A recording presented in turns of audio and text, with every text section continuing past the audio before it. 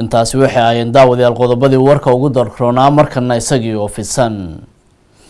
madaxweynaha jamhuuriyadda federaalk soomaaliya mudane xasan sheekh maxamuud iyo madaxweynaha dalkaasi jabuuti mudane ismaaciil cumar geele ayaa maanta gaaray magaalada beledweyne ee xarunta gobolka hiiraan. Mas'uuliyiintan ayaa si diiran halkaasi waxaa ugu soo dhaweeyey dadweyne aada u fara badan iyo weliba ciidamada nabad ilaalinta midooda afrika ee iyagoo ka howlgala ah gobolka hiiraan iyo maamulka gobolkaasi labada madaxweyne ayaa waxa ay booqdeen xarumaha ciidamada nabad ilaalinta midooda afrika ay ku leeyihiin iyo kuwa dowladda soomaaliya gobolkaasi hiiraan gaar ahaan magaalada beledweyne. Iyagoona salaan sharaf ka qaatay ciidamada soomaaliya iyo weliba kuwa nabad ilaalinta midooda afrika ee ka socda dalkaasi jabuuti ee halkaasi ku sugan wafdiga madaxweynayaasha dalalka soomaaliya iyo jabuuti ayaa waxa ay maanta booqasho ku yimaadeen magaalada beledweyne ee xarunta gobolka hiiraan. Waxaana wafdiga madaxweynayaasha dhinaca soomaaliya ka mid ahaa wasiirka arrimaha gudaha arrimaha dibadda warfaafinta amniga gudaha taliyaasha ciidamada militariga iyo nabad sugidda soomaaliya madaxweynaha jabuuti ayaa dhinaciisa waxaa safarka ku weeliyey wasiirka arrimaha dibadda iyo weliba wasiirka hidaha iyo tacliinta sare sidoo kale safiirka dalka jabuuti ee soomaaliya iyo taliyaha ciidanka dalka jabuuti. Madaxda ayaa waxay salaan sharaf ka qaateen ciidamada kala duwan ee amisom iyo dowladda federaalka soomaaliya waxaana garoonka diyaaradaha ku soo dhoweeyey boqolaal dadweynaha reer beledweyne. Kulan gaaban oo ay yeesheen dadkii soo dhoweynta ka qayb qaatay iyo weliba madaxda waddamada jabuuti iyo soomaaliya ayaa waxaa ugu horeyn halkaasi hadal soo dhoweyna ka jeediyey gudoomiyaha maamulka gobolka hiiraan cabdifitaax xasan afrax madaxdeena lagu qaaliga ah runtii ugu sarreysa wadanka jamhuuriyadda federaalka soomaaliya iyo jamhuuriyadda jabuuti aan walaalka nahay inaan maanta beledweyne ku soo dhaweyno magaalada ku soo dhawaada beledweyne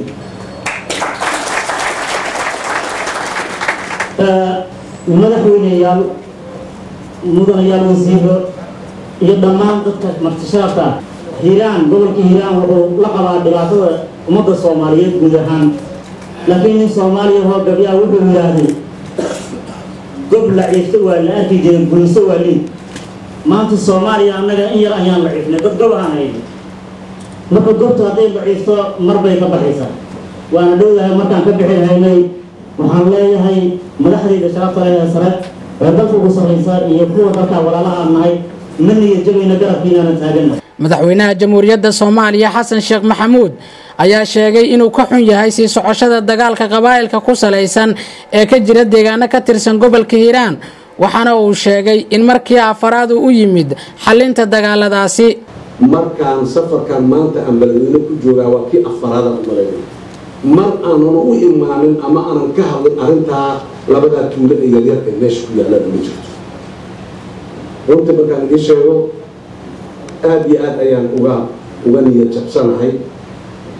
mas'uuliyinta deegaanka ee dalkan joogta gobolkan joogta. Run inaan idiin sheegaan doonayaa dhaqan hadday tahay iyo maamul hadday tahay intaba. Waxba kama ayan qaban waayin ee waanay daacad ka noqonin in meeshaasi colaadda ay istaagto. Maanta marka intaan hayno waa intaa hadday sii socotana xanuunka unbaa sii badanay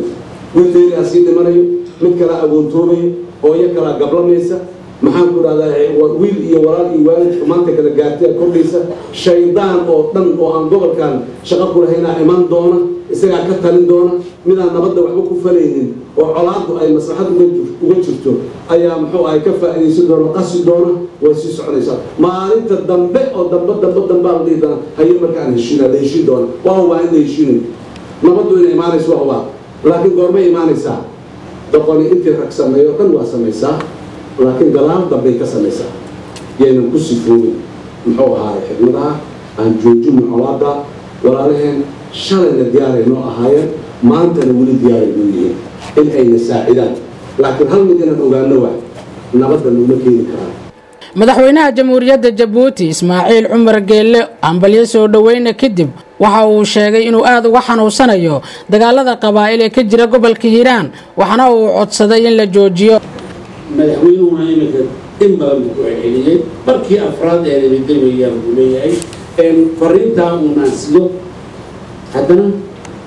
biga islaan aan ku dhacayn waa maxay dee cadaawaha intaa leekee ummadda yacni walaalaha ee meelkooda noole ajyaal iyo ajyaal iyo ajyaal ku noola maxaa keenay inay inay diin daadiyaan maxaa keenay inay nin walaalkooda oo islaan oo soomaaliya inay inay inay rasaas ku jiidaan maxaa keenay